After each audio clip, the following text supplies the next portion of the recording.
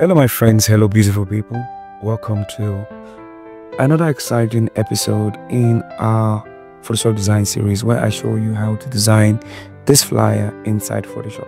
If you've not gotten your Smart Designer Premium asset, now is the best time to get yours so that you don't miss the text, 3D text, the PNG images, and all the goodies in this package.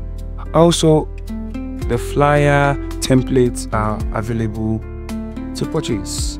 You can use the link in the description of this video to get yours. And also the sci-fi fantasy pack is also available. So click the link in the description to get yours. If you've not subscribed, what are you waiting for? Click the subscribe button and don't forget to turn on post notifications so that you miss any videos I'm dropping after now. Without having to say much, let's jump right into it. So the first thing I'm going to do is I'm going to set my page. Just going to put the name here.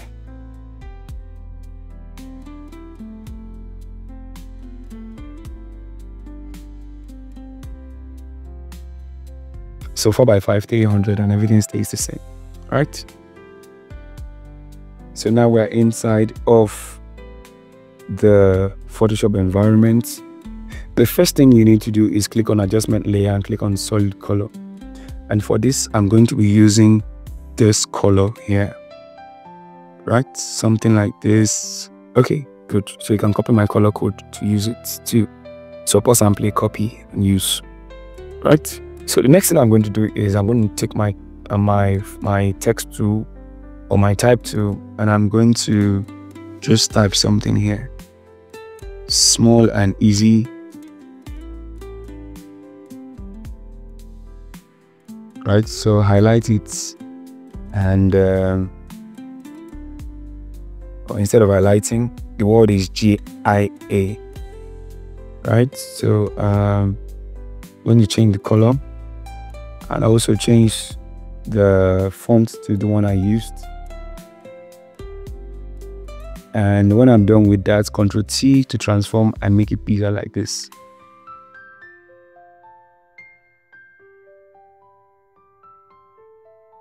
Click enter.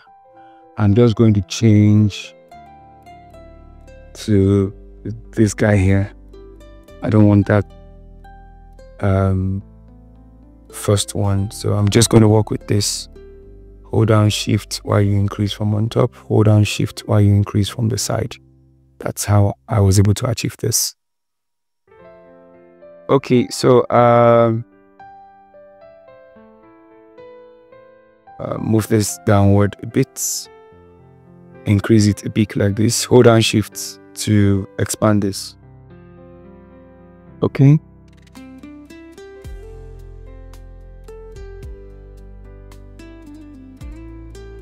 So Ctrl J to make a duplicate copy of this. Select your white here. And um, change the blend mode of this one on top here to vivid light. Right? Go to filter, go to blur and go to Gaussian blur. Convert to smart objects. And we might adjust all of this later on. So change the color of this guy here to something lighter. Use this color here and click OK like this. Ctrl J to make another copy of this. Click on the Gaussian blur, increase it just like this and click OK. Change the blend mode to linear dodge add like this.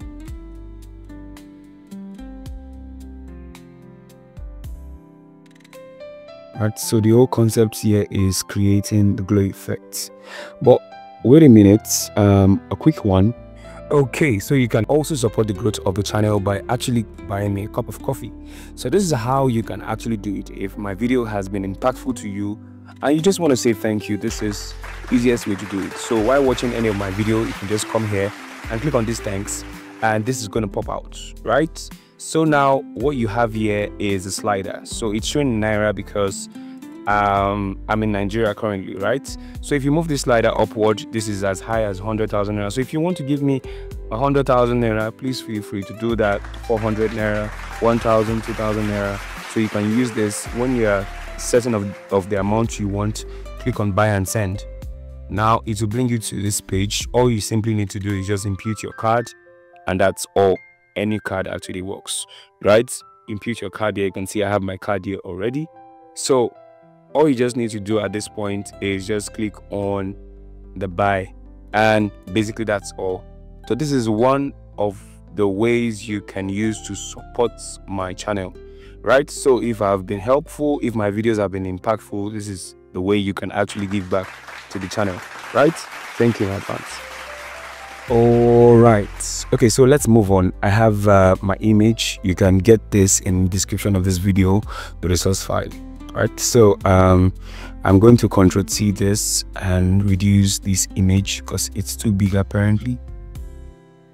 Right so control t to reduce the size. And of course i'm going to get rid of the sharp edges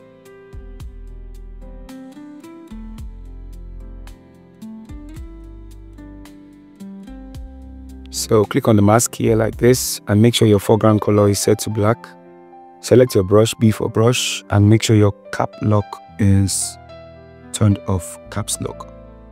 So get rid of the edges here like this.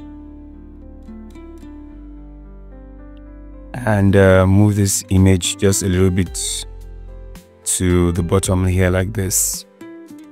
Select this GIA and um, one thing you want to do is make it bigger.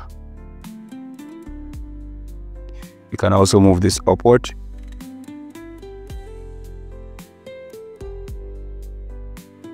Like this. And there you go. You're good to go. Okay so i'm just going to make minor adjustments to the text right? So i'm going to start from this. I'm going to reduce the blur. The blur values click ok. And um, change the blending mode. Click on this one.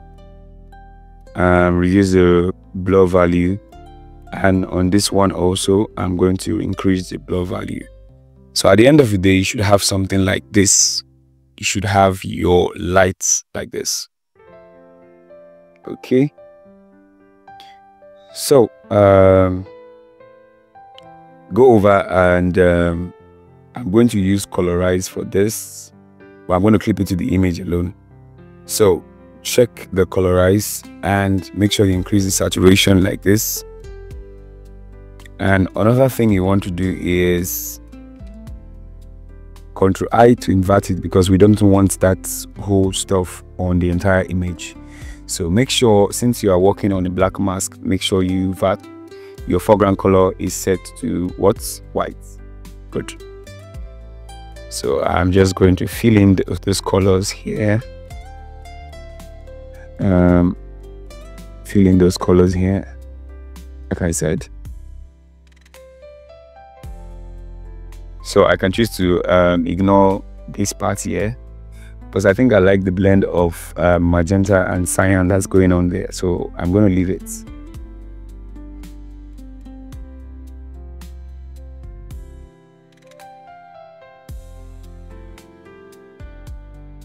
okay so um we're almost halfway done right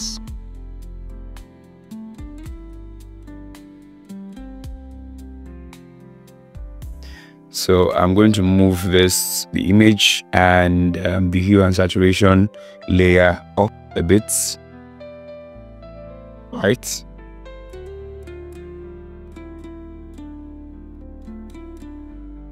The next thing I'm going to do is I'm going over to my resource file and um, of course if you purchase the smart designer premium assets you should have all of this image at your disposal right now right so i'm just going to look for the image to use i think it's somewhere around here you can see these are all PNG images that you can use to make your projects um, look great with high definition images without backgrounds. So this is what I want to use. So I'm just going to drag and uh, drop inside here. Right. so I'm going to reduce the size like this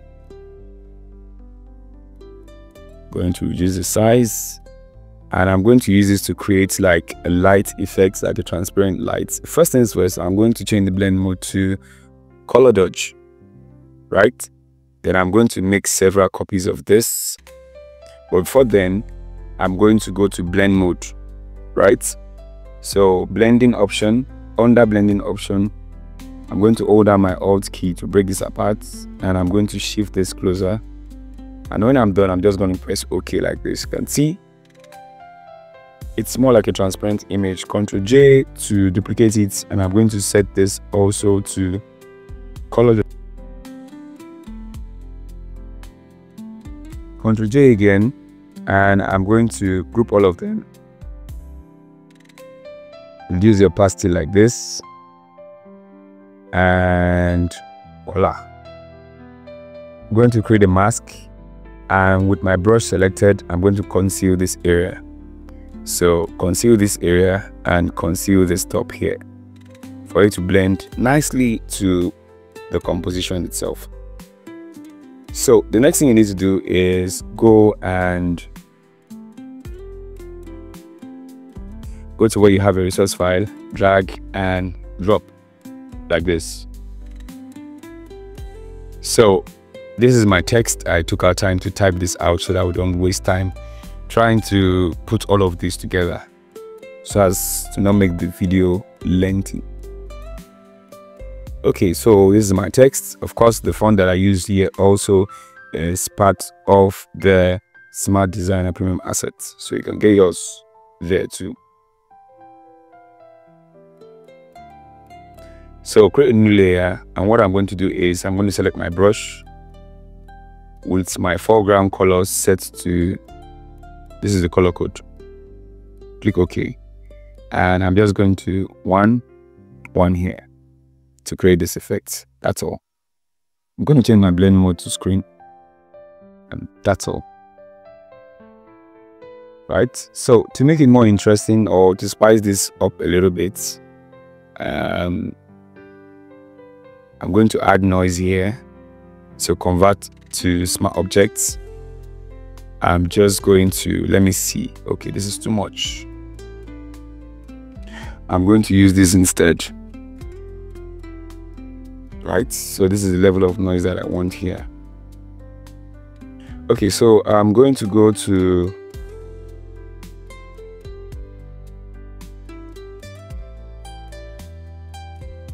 let me see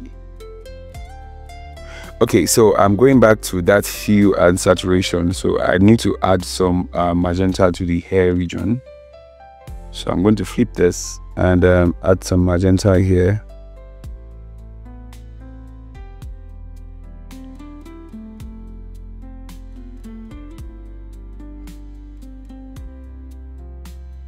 And some other areas too like here also because I have a reflection of light there. And here too. Just make it obvious and make it nice.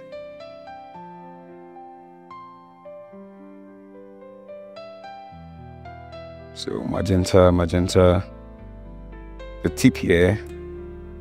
And um, basically that's all I need to do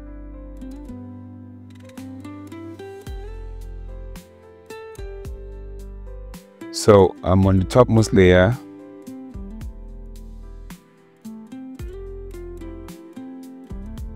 So click on photo filter and um, select the cooling, right, for you to get this. And um, on the topmost layer, I'm going to make a snapshot, Control Alt Shift plus E to make a snapshot of the entire layer. Then I'm going to convert to Smart Objects I'm also going to go to filter and um, inside filter, I'm going to go to, that should be filter gallery. Yes, filter gallery here. And I'm going to create this effect using glass under distortion, right? I'm going to make sure my distortion level is not too much you can just copy my settings. Your texture should be frosted and your scaling should be 200. So we're going to create this. So what I'm going to do is mask it, Control I to invert the mask. And with my brush selected and my foreground set to white, I'm just going to um, use as my brush and um, paint in the areas where I want that effect to be visible. Like areas like this,